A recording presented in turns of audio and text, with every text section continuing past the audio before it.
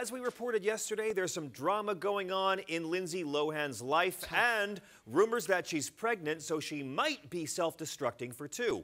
Uh, police broke down her door in London after she said that her fiance, Igor Tarabasov, there's your warning sign right there. Attacked her. The argument was caught on video from her balcony. Carlos, you just broke an exclusive story about this for page6.com. What do you got for us? Well, we spoke to a source close to Lindsay who told us that she is telling people that she's pregnant, but this source also said be skeptical because she could be doing this for attention. No. Uh, e well, Igor broke up with her apparently, but I spoke to her father, Michael Lohan, on Skype this morning, and I flat out asked him, is she pregnant? Take a look.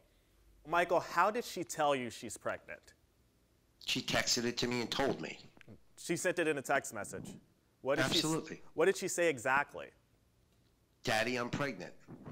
How far along is Lindsay? What do you mean? Her pregnancy. I don't know. I don't know. Okay.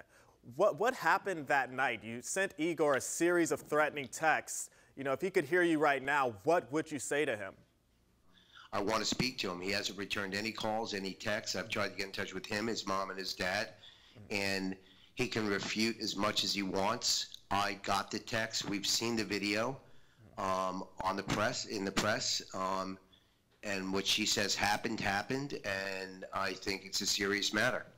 People are constantly speculating that, you know, this is good for you, the interviews and, and being in the media. How do you respond to your critics? They can say whatever they want to say. You haven't seen me out there at all for any reason. But when someone's going to attack my daughter and people are going to start twisting it and saying she's a liar, I'm going to speak up for her and I'm going to defend her. As a father, how heartbreaking has this last week been for you?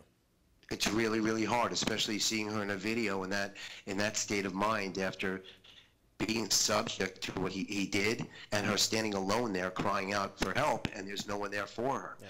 Well, thank you so much. I appreciate you talking to us. Thanks, Carlos. I really Have do. a great day.